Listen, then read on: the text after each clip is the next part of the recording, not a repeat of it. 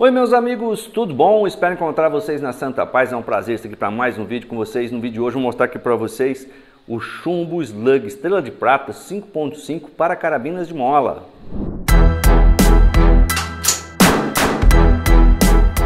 Pessoal, vamos lá. Com a pouca experiência que eu tenho, as carabinas de mola gostam de chumbos abaixo de 28 grains. Então, 25 grains é o que dá mais resultado nas carabinas de mola.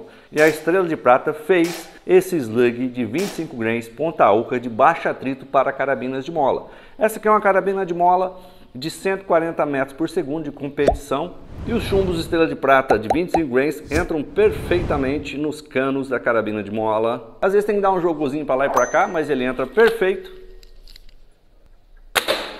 esse chumbo também pode ser utilizado em carabinas de PCP. Ele é de 25 grains e tem um ótimo agrupamento, um ótimo acerto e ele também tem uma expansão muito bacana. Praticamente dobre de tamanho mesmo sendo uma carabina de mola de baixa potência igual essa daqui de 140 metros. Chumbos Estrela de Prata Slug de 25 grains para carabinas de mola, podendo ser utilizado também carabinas de PCP. Experimente que você vai gostar. Muito obrigado e até a próxima.